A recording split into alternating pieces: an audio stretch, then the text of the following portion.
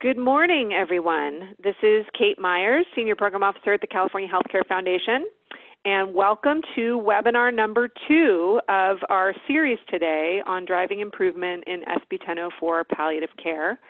I know many of you uh, joined us for our first webinar uh, just a short time ago, um, but I assume some who are logging on may not have joined us for that first webinar. So I want to just provide a brief welcome which will be uh, a little redundant for those who were on the first webinar, but I'll keep it brief. I wanted to just um, thank everyone for coming. Uh, the California Healthcare Foundation has been doing a variety of kinds of work related to SB 1004 for several years now. And we're really thrilled to be able to spend uh, several hours today over the course of three webinars uh, trying to replicate uh, a fair amount of our content that we would have presented at our statewide convening that we had been planning for this day uh, and had to cancel due to the COVID-19 crisis. So I just want to thank everyone again um, who's on for a second time, but thank all of you attending for the time you're spending with us today. And really excited to get to dig into our uh, second webinar today, again reflecting on the content that we learned from the surveys that many of you completed on what your experiences have been in delivering SB 1004 palliative care and what you are anticipating as you look to the future of continuing to provide SB 1004 palliative care. Um, again, thank you to the planning team behind all of this work, uh, Chris Wallach at the Coalition for Compassionate Care of California, Kathleen Kerr, independent healthcare consultant, and Dr. Anne Kinderman from Zuckerberg San Francisco General Hospital. Judy Thomas from the coalition is also going to um, give a brief hello, and then we'll get into today's second webinar. Great. Thank you, Kate, and thank you for everybody who's joining us today. It's really impressive, the number of people who are coming out for the webinars. And it's really exciting. If you missed the first webinar, you'll want to um, look at that recording when it comes out because there's been tremendous progress that's been achieved. I want to thank you all that I think with COVID, it really is showing us the value of palliative care and the need for it to be more prevalent throughout society um, when we're caring for people who are seriously ill. And today, everybody is really um, kind of facing that potential, making this very real. So, one of the things the coalition is doing, um, please check out our website for COVID conversations. We're starting a multifaceted initiative to really encourage these conversations. So, the people um, who are going to the hospital are really the ones that can benefit and, um, and that need those services. And um, we need to be able to support the people who don't go into the hospital um, to have the highest um, life they can uh, without going into the hospital. So check out COVID Conversations. Thanks, Kate. Thank you, Judy. Okay, next slide. Thanks, Ann. Um, so just quickly, I know this is um, repetitive for a few of you, but just to orient those of you who weren't on our first webinar, um, this is our second of three webinars today. We are on the looking ahead um, item. And we have one more webinar after this one that will begin at 1 o'clock. Um, again, people are welcome to come to one or all. You have individual registration links for each of these webinars if you have registered for them. There were some questions last time about slides and webinar recordings, so I'll reiterate, we will make uh, all slides and recordings of each of these webinars available on the CHCF website within probably about seven to 10 days. And um, a reminder that all attendees are muted, um, but we encourage you to use the chat box that we have. This worked really well in the first webinar, I think, for people to both share observations, make comments on what you're hearing from the presenter um, based on your own experiences, and to ask questions. Um, we will try to address those questions either within the chat box or uh, verbally from our presenter as we are able based on time. And those that we can't get to, uh, we'll try to work with you to answer them offline. So um, want to introduce our speaker for our second webinar before we get started. Dr. Anne Kinderman is an associate clinical professor of medicine at UCSF and is the director of the supportive and palliative care service at Zuckerberg San Francisco General Hospital. Dr. Kinderman's scholarly work has focused on promoting high quality care for vulnerable patients with serious illness and expanding palliative care services in safety net health systems. Related to SB 1004, as many of you know, she helped to develop and deliver the technical assistance series um, through previous CHCF initiatives. With that, I will hand it to you, Ann. Thanks, Kate. Uh, so uh, excited to be talking with you all to unpack the uh, other components of the surveys that we did and um, to really take stock of where we are right now and how uh, we can move forward and help more Medi-Cal patients get access to palliative care when they need it.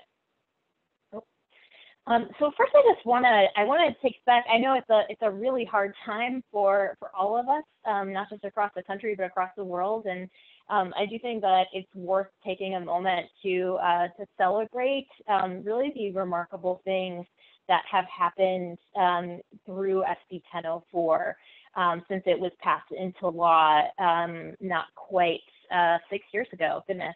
Um, so it really was um, a first of its kind mandate for Medicaid patients um, in the United States to um, to require that they have access to palliative care. And I um, I always like to joke that you know for me and having uh, commercial insurance, there's no mandate for me to get palliative care.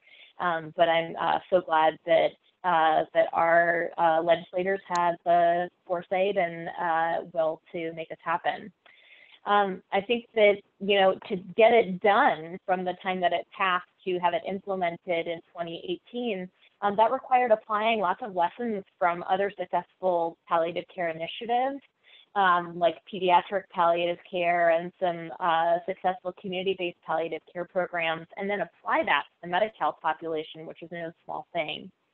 And then we have now two years of services um, under our belts um, literally thousands of vulnerable people in California have gotten palliative care services because of this law.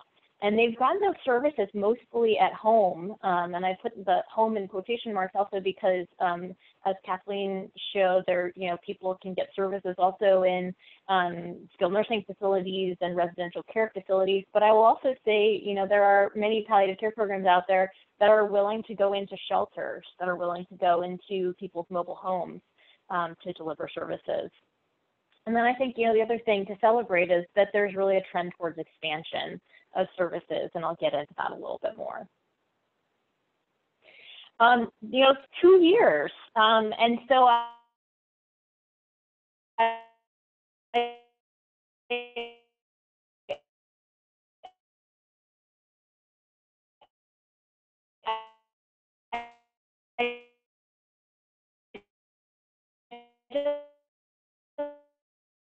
kind of like the idea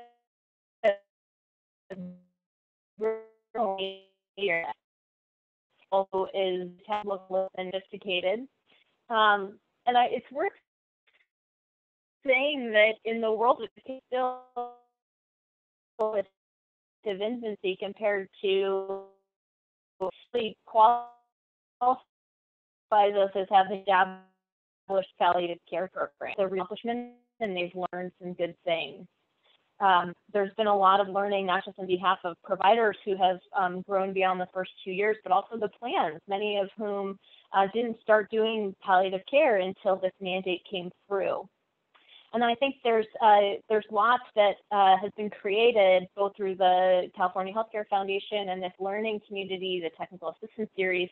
Um, we've tried to promote these connections across um, communities uh, with public hospitals and palliative care organizations that are standalone and with the health plans to try to um, encourage the growth and expansion of SB 1004. I don't think it would be fair to talk about uh, two-year-olds without um, acknowledging the reality that sometimes there are hard things that come out and not everyone is happy. Just to uh, put forward again um, some background to the data that we'll be using looking at this webinar. Um, this is really drawing from the plan and provider survey that went out a couple months ago that builds on surveys that we did um, capturing the first six months of SB 1004 services and the first year. Um, as Kathleen mentioned in the first webinar, it was around 25 questions in the survey. We were really trying to be sensitive to people's time um, and uh, made sure that these questions were intelligible and thanks to those who read our early drafts and helped make it better. Um, our intention was to really capture the SB 1004 activities that are happening beyond what was just required to be reported to the state. Kathleen already talked about the structural components of the SB 1004 programs, the volume of uh, patients that were referred and enrolled, and I'm going to be focusing on those last two bullets, which I'll get into in some more detail on the next slide. Um, we were really pleased again with the uh, participation in the surveys uh, with two thirds of the plans uh, and we think about half of the provider organizations who are providing the SB 1004 services. Um, and I will uh, also, as uh, when possible, try to compare and reflect back to our 2018 results. So uh, just for those who weren't able to participate in the first webinar, I wanted to put a couple of our uh, takeaways from the uh, data around volume of patients and uh, what we've seen there. Um, the theme really is expansion. Most plans reported expanded eligibility criteria. Um, uh, with the minority of our plan respondents who had less than 50 referrals, most had over 200 in uh, 2019. And almost half of plans said that their volume was going up uh, of patients or their members who are receiving services.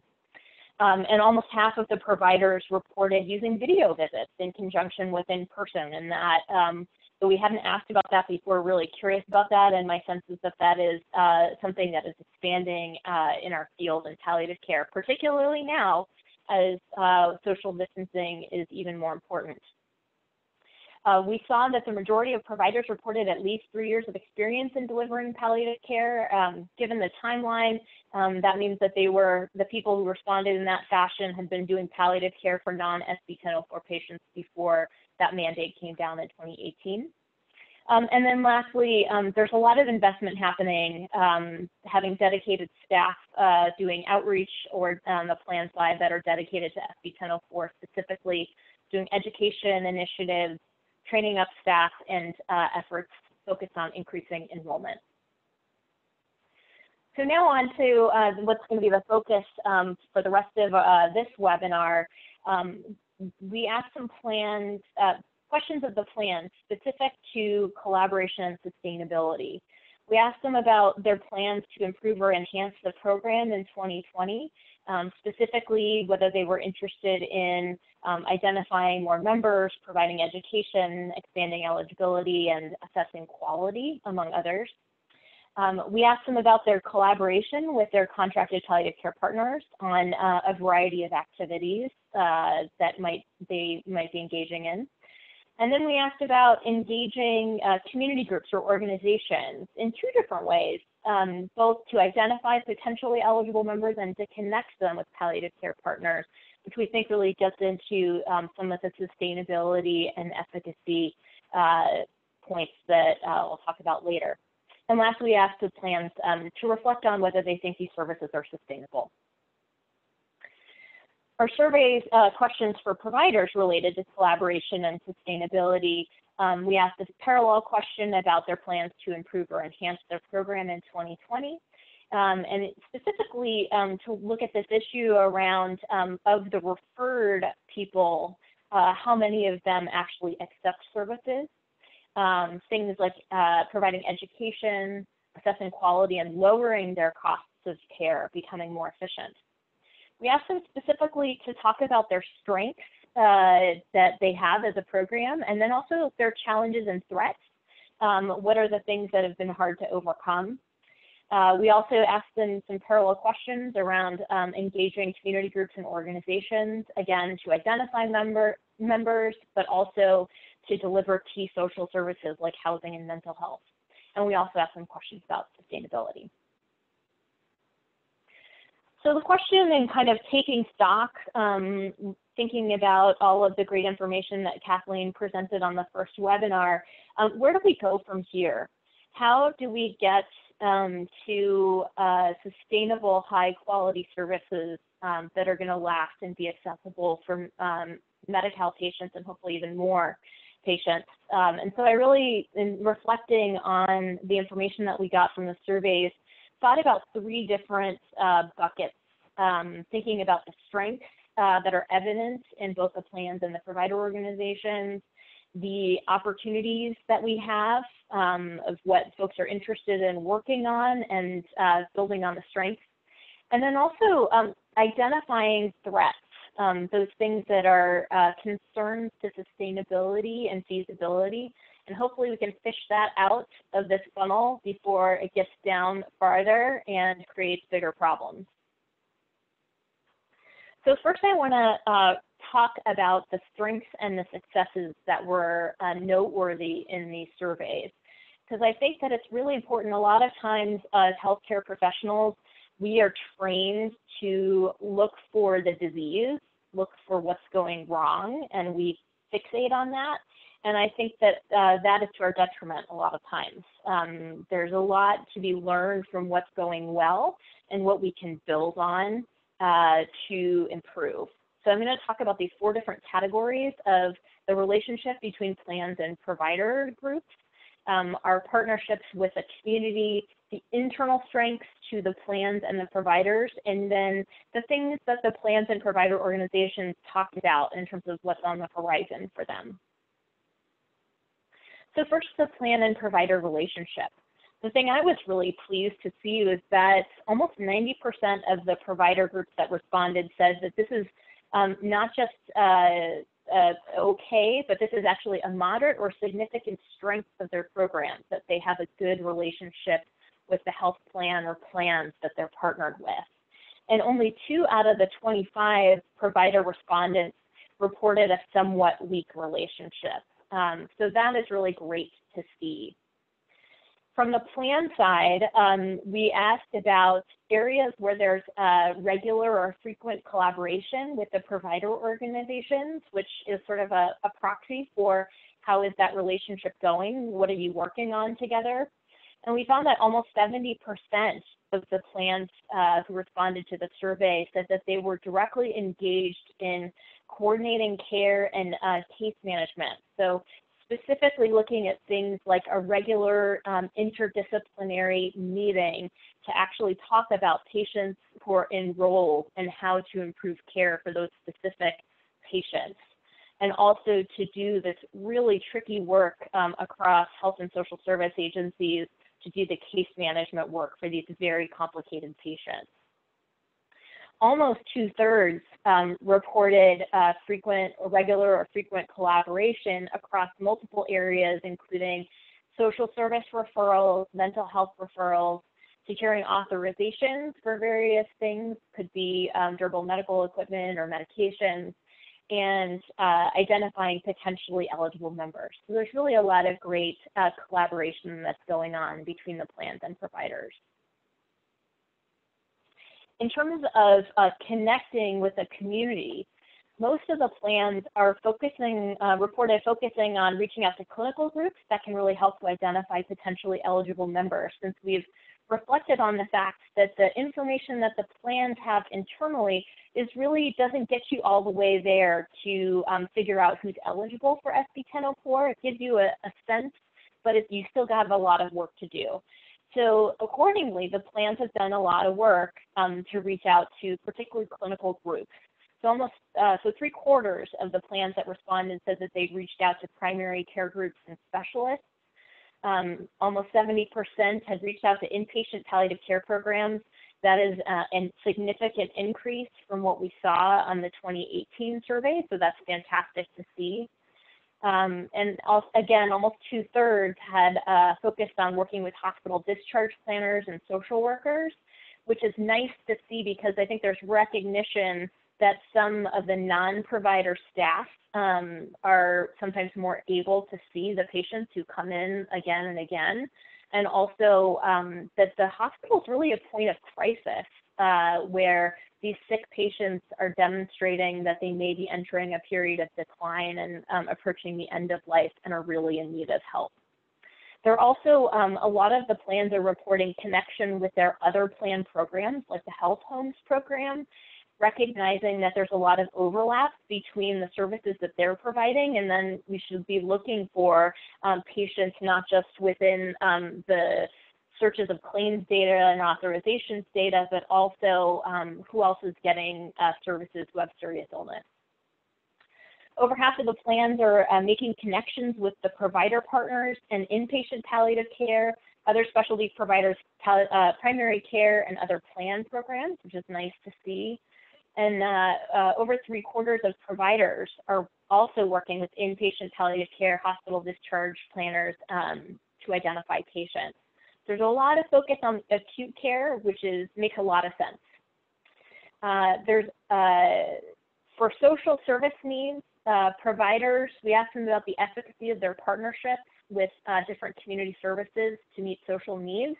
And uh, the greatest strength there, which was not, uh, I'll be honest, not super strong, but the, the best partnerships that people had were with organizations that met transportation needs, which is makes sense given that that's now um, much more mandated through the plan. In terms of internal strengths, um, most plans are collaborating with their other internal programs, as I mentioned, to identify potentially eligible members. So it's nice to see that those uh, connections are already there, that collaboration is already there, and that's a lot that we can um, harness to, uh, to expand what's happening uh, in enrollment. Uh, providers, uh, their strengths, they say they know the population well and they know palliative care over 90% of providers report um, having experience with the Medi-Cal population as a particular strength.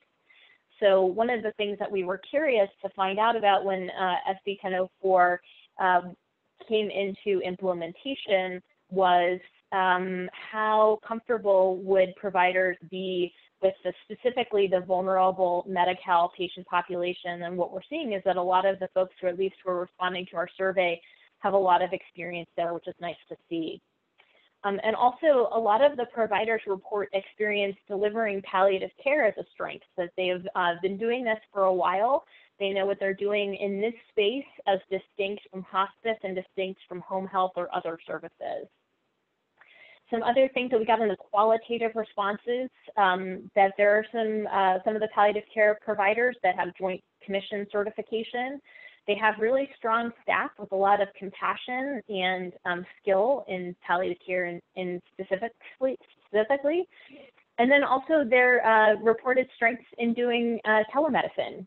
Uh, so again, it's nice to see that uh, those services expanding.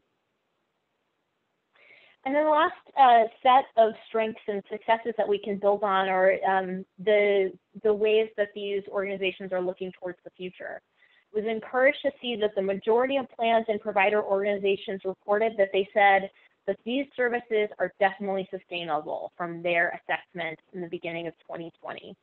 So over half of plans and uh, almost 70% of providers. And I think there's some um, there's some others another side to this coin that I'll get it into in a few moments. But I was glad to see that at least for the majority, um, it feels like these services um, are sustainable and can be continued. In terms of looking ahead to what uh, these organizations are interested in focusing on for 2020, most of the plans um, reported that they're interested in working on educating referring providers about the benefits. And the providers were very eager, had a lot of different things that they wanted to work on. So over three quarters of the providers um, said that they wanted to work with a plan to identify more patients to increase that conversion rate from the uh, members who are identified and referred to those who actually enrolled in services, educating referring providers, and then strengthening the relationship with the plan. And I underscored the educating uh, referring providers here because I think that that's a nice opportunity um, where there may be some good alignment between the plans and providers in terms of what they want to work on in 2020. So just to take a moment to reflect here, um, are some solid relationships between the plans and provider organizations and lots of various collaboration. The plans and providers are investing in the connections with hospital-based providers in particular. Um, there are more provider organizations that are now established in delivering community-based palliative care, and so there's a lot um, of uh, experience to build on. And I think, uh, like I mentioned just a moment ago, uh, focusing on how your interests and your intentions may present new opportunities to collaborate in 2020. So now on um, to the threats. I think it's uh, just as important to focus on the successes and the strengths it's really important to identify the problem areas before they turn into bigger issues. So the two main um, themes that came up here in the survey were uh, the fact that enrollment is uh, not as high as, it, as some of the organizations had hoped for, and there are concerns around how to make all of this work financially on an ongoing basis. So the first threat around that there are fewer uh, patients or members enrolled than might have been hoped for this was a top concern for plans and providers when we asked them about their threats. So it was it was less than half of the plans, but uh, a good proportion of the providers. Um, and as I mentioned, uh, almost half of the providers worry that this is going to impact their service sustainability. When you think about all of the services that are required under SB 1004, it's really a pretty broad spectrum of services. And if you don't have enough um, patients that are enrolled, then you have to have all of these staff that are dedicated to it, but not um, enough revenue coming in to actually support that program. So the economies of scale are really important uh, for the provider organizations in particular. In terms of what's contributing to the uh, patients uh, fewer enrolled than desired. Um, I will mention here one of the questions that came up in the first webinar is what are the, some of the reasons that patients um, don't accept services or the challenges. And I would refer you back to um, a lot of the resources that are on the SB 1004 website that we've highlighted over the first um, year of SB 1004. Um, but some of the contributing factors that came up on this survey, uh, over 60% of providers reported that there's a moderate to significant barrier because of the fact that referring providers are not specifically introducing palliative care benefits to their patients.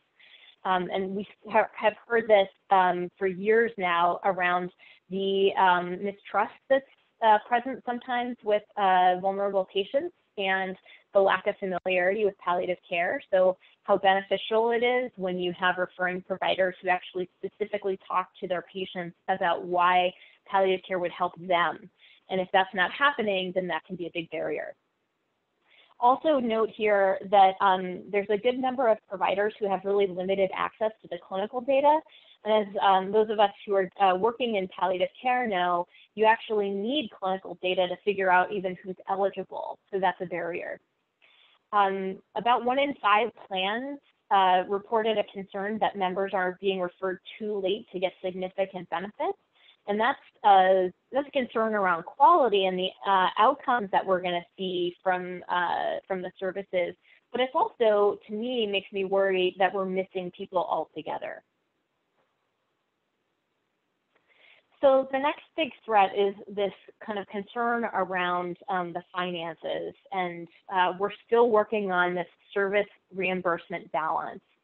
So about one in five plans that responded to the survey has a moderate concern about the cost of the program outweighing the savings, that they're investing more than they're seeing in cost savings. Um, on the provider side, it's a much more frequently reported concern. So almost 70% reported this as a moderate to significant threat to sustainability. This is the other side of the coin. While providers think that these services are sustainable, they really do identify this as one of the bigger areas of concern when they do think about sustainability. And uh, one of the reasons that that's an issue is um, just the complexity of patients' needs in this population.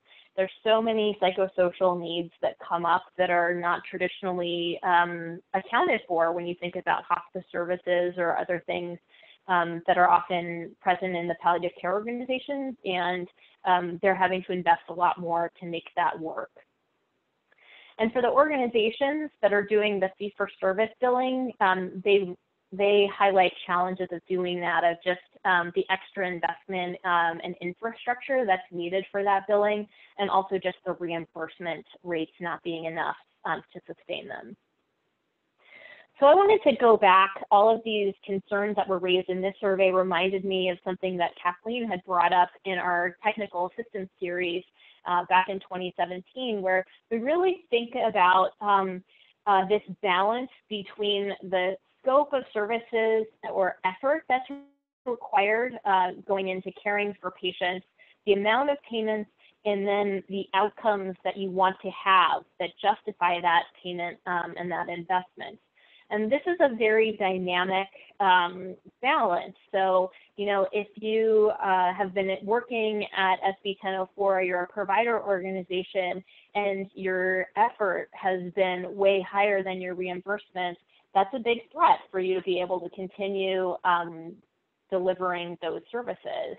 Um, on the other hand, if you're a plan and you have been particularly generous with your investment, but you're not seeing the outcomes, um, that is a concern on, on that side. So I think that um, now, two years in, is a really good opportunity to come back together and look at what we've learned and look at this balance yet again. I will highlight um, some smaller but real concerns here um, quickly. So there are particularly some challenges of being rural palliative care providers and finding um, or being a rural palliative care provider. Um, staff turnover, uh, particularly recognize that plan staff assigned um, to oversee this have turned over and that reestablishing those relationships is hard. Um, the effort to connect um, with a plan uh, with patients remains really high.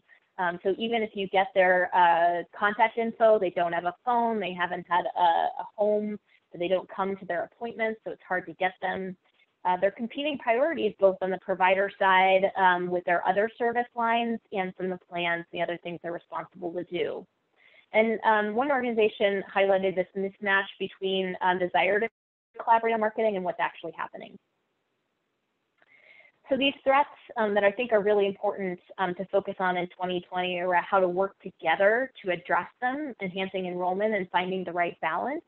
And I think the nice thing is that there's alignment and that both plans and providers um, realize these threats and want to work on them.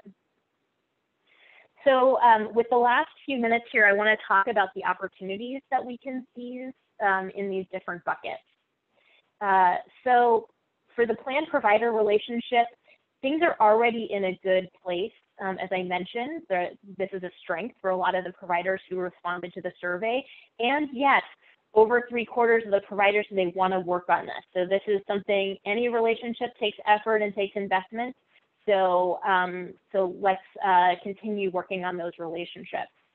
Um, one opportunity that came out through the surveys is that only a quarter of plans said that they've connected providers with their other programs like health homes, which I think could really be a win-win um, to both identify patients earlier and possibly have a better conversion um, rate and less strain if there's that direct connection between, say, health homes and the palliative care providers. With community partnerships, um, providers continue to highlight that there's a lot of complexity of the patient's psychosocial needs, but almost none have effective partners who can address, address significant mental health needs or substance use disorders. So since plans have those connections, um, would be a great opportunity to help enhance those connections. Um, and um, for our population and with Medi-Cal, um, most providers still don't have a good effective partner to address food insecurity, which I think in um, with COVID is going to be even more vital. Um, uh, so I'll also mention um, with health homes, uh, CBCMEs are critical there, and uh, that's a great opportunity to facilitate those connections. For internal strength, um, plans and providers are uh, leveraging relationships with hospital-based providers, but uh, less than a third uh, of the providers are collaborating with clinic-based palliative care programs. Now, say I know that there can be a sense sometimes around competing for patients, but I would say that um, as a palliative care provider who's helped to stand up a clinic program, there are many patients who we know we can't serve appropriately who really need home-based services. So this is a great opportunity to partner with clinics. Um, and most plans report uh, regular or frequent involvement with referrals to social service and mental health, but um, they're not really using these services to help identify patients. And I think that that's a way that we can maybe find patients earlier on. Lastly, as I've mentioned, there's great alignment in terms of thinking about focusing on um, referring provider education in 2020. Um, one thing that came out in the technical assistance series as a best practice is thinking about co-branding for doing these um, education efforts together, kind of having the logo of the plan and the logo of the provider together to say we're in this together delivering these services. Um, and there may be opportunities for engaging more community organizations, really um, making more concrete the connections between the palliative care providers and these uh, community organizations uh, involved in social services that the plans are already connected with. There's uh, a, a, hope and intention to focus more on quality measurement and quality improvement, which is fantastic, um, and I think will really help inform that balance between outcomes that are desired, the payment, and the scope of services.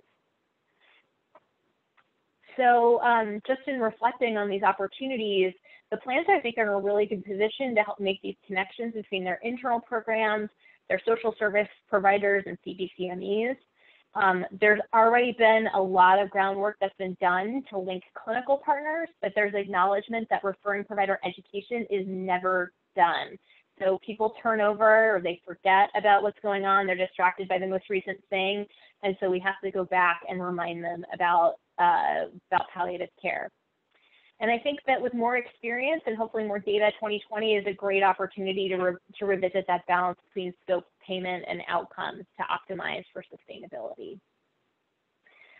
I just wanted to take a, a couple minutes here to brainstorm, um, and this kind of came up in the first webinar and some of the questions and comments about other non-traditional uh, healthcare professionals or social service professionals, community organizations that might be key partners to think about directly involving in these uh, palliative care services. And so I have a, a, few examples here to highlight. The first example is, uh, is mentioned in the first webinar around community health workers or patient navigators. We saw that 18% of palliative care providers who responded to the survey said that they incorporate um, community health workers. Uh, that's fantastic. They're using them in very different ways.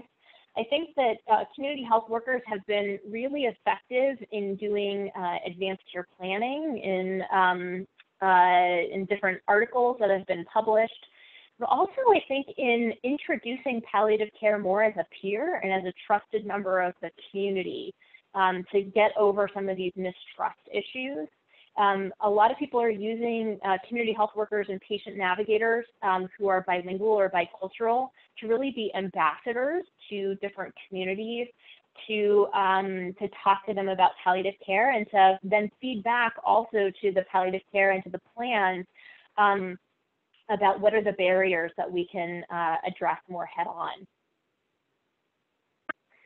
Uh, for for us in San Francisco, particularly in an urban context, um, we think about working with our folks who work in supportive housing and our community case managers for people who are socially isolated and um, may not be living with family.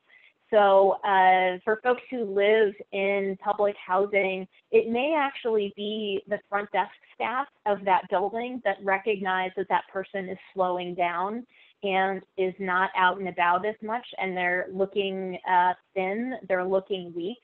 Um, so if you can partner more effectively with people in those positions, you can actually identify patients farther upstream and recognize, uh, provide them the benefits um, over a longer period of time and potentially avoid some of those unnecessary hospitalizations and visits to the ED. There was a specific question that came up in the first webinar around are these services being provided to homeless patients? And though we didn't ask about that specifically in um, our survey, this is for sure happening. Um, and I think that one uh, group to particularly partner with um, as the palliative care organizations are our homeless outreach teams and homeless care providers, who are really the content experts in um, working and working with, finding, um, and uh, having trust with our uh, homeless neighbors. And I think the thing that I would highlight around all three of these different um, types of social service staff is that it's not just about identifying patients, but it's actually about working with these patients once they're enrolled and providing the extra layers of support that they need and the content um, expertise that they have um, and the situational expertise that they have to support patients. Our lessons learned um, from the first year, um, I've said it a few times already that it's just critical to leverage trusted relationships to overcome skepticism and mistrust and go from patients referred to patients enrolled. Um, specifically, there's some language that we've heard um, that if you talk about how these services are free, if they actually are less attractive. It feels fake or it feels like something you don't want. Um, instead, using language around it's covered by your plan.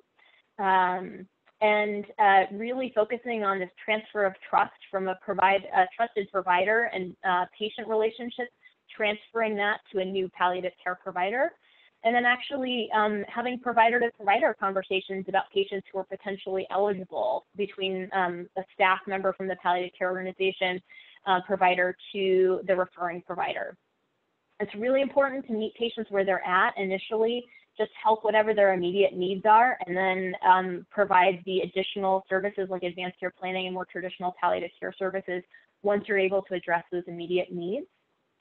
Um, and I think it's just critical to remember that these service development, uh, this process is iterative.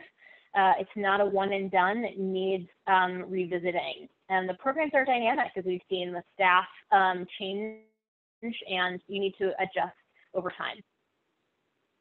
So I just wanted to say, end of year two, um, it may feel like you've had some uh, mistakes, some uh, roads that were built in a direction that ran into a wall or other things, but it's really important to step back and think about um, the successes that you've had and where you want to go from here. I have some reflection questions that I will put up as we um, uh, have a couple of minutes for questions, but encourage you all um, in the hour that you have, if you're working with your team, to think about these questions um, and think about them with your team uh, in the days to come. And with that, I will we'll uh, give that our last minute or two for questions. Thank you so much, and uh, this is Kate Myers again, and uh, what a wonderful presentation. Thank you for, for all of your work and your presentation today. There were uh, there's a lively conversation on chat about a number of points that you raised, um, and some are more observations than questions, but just a few things that I wanted to highlight, and then Anne, if you wanted to um, have any uh, concluding comments on those. One is uh, a person made a point, very good point, as you were discussing the homeless population, that um, their organization does provide care to that population and other similarly complex populations, but it can become confusing for members who might have duplicative services through, for example, whole person care or other county-based or other even plan-based programs like health homes. So that, that um, participant emphasized the importance of clarifying roles and aligning with other partners where there might be overlap. Um, one other thing I wanted to mention, there was a, a, couple different sets of comments around the question of strategies for early identification of potentially eligible um, people. And there was some discussion back and forth about the value of sort of triggering or use of algorithms uh, to trigger referrals versus direct referrals from provider organizations. And there were comments um, pro con on both sides. So I think it goes to show the different strategies are work in different settings. Um, but it's important to look at the full um, set of opportunities for identifying patients and um, perhaps if something's not working, looking to other strategies. And then finally, one um, comment that I thought was helpful to emphasize when you were discussing this sort of service and reimbursement balance. Um, one plan commented that they, they found that the savings they were seeing in inpatient and ED utilization were somewhat offset by the program costs and other costs that came up, like um, related to use of DME or other services related to social determinants of health issues, but that overall that plan has still seen that the savings have outweighed the costs. So I thought that was an interesting set of observations about where services and costs um, show up. So those were some of the things I pulled from the chat, um, but any reflections on those or final comments that you would make, Anne? No, I think that's all great. I'm glad that there is um, a lively conversation going on um, during the presentation, and I could not agree more with the comment that um, with more investment um, from different organizations in um, specific patients, it can absolutely be confusing to patients about who to call for what. And so I think it is absolutely critical that there's conversation between the palliative care organization and the other provider, whether that's um, whole person care, health homes, whoever, around who is running points um, so that the patient has a single point of contact and that those two organizations are clear on that um, so that they can coordinate as best as possible. Fantastic. Thank you again, Anne Kinderman, for this wonderful presentation. And um, I will, again, as with the first webinar, I'll leave the um, webinar and the chat up for about three or four more minutes if folks want to add any other comments or questions to the chat that we could hopefully get to offline. Um, and with that, we hope to see um, most or all of you at our last webinar for the day, which will begin in one hour. And again, remember that you need to use a the separate final login that you got for that third webinar in order to access that. Thank you so much, and we'll see you or talk to you all in about an hour.